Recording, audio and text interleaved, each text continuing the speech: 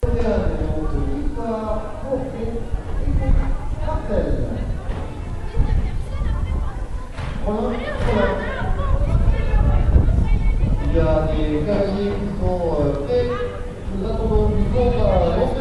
pour le